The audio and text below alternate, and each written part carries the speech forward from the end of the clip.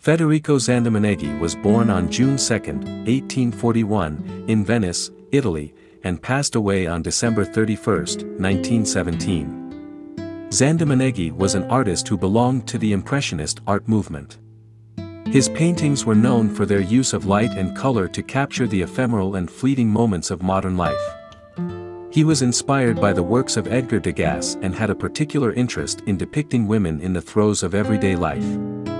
His paintings were characterized by strong compositions and vivid color palettes that reflected his impressionistic style. Zandomeneghi's works were an important contribution to the legacy of Impressionism in Italy and around the world.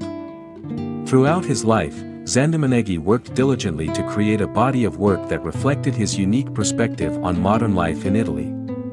His paintings captured scenes of everyday life, including women working, shopping, and enjoying leisure activities.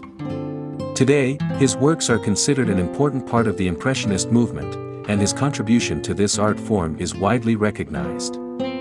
Federico Zandomeneghi was born into a family of sculptors but his passion for painting led him to enroll in the Accademia di Belle Arti in Venice and later in the Academy of Fine Arts of Milan.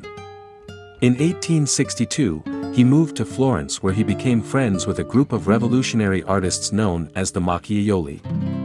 They painted outdoors and Zandomeneghi's style flourished, becoming more vivid and spontaneous. After returning to Venice in 1866, Zandomeneghi's talent was soon noticed by art critic Pompeo Molmenti.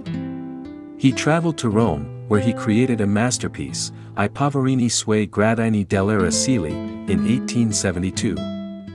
By 1874, Zandomeneghi was in Paris, where he met the Impressionists, who shared similar techniques and styles. He participated in four of their exhibitions and was primarily a figure painter. Zandomeneghi's sentimental paintings of women in their daily lives followed the example of Mary Cassatt and Pierre-Auguste Renoir. He worked in pastels in the early 1890s and became adept in this medium. He also worked as an illustrator for fashion magazines to supplement his income. His fortunes were enhanced when his work was shown in the United States by the art dealer Durand Ruel.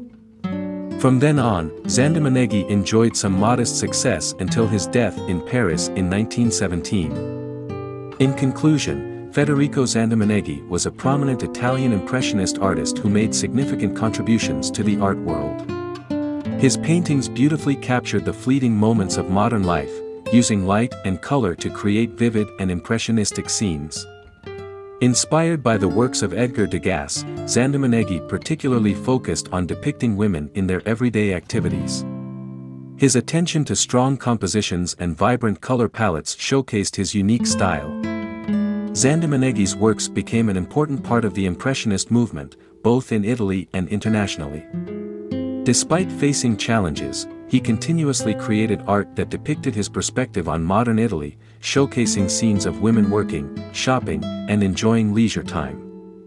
His talent and dedication were recognized by art critic Pompeo Molmenti and his participation in the Impressionist exhibitions further solidified his influence.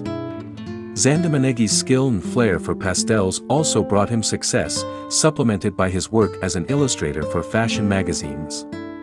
Today, his artistic contributions are widely acknowledged and celebrated.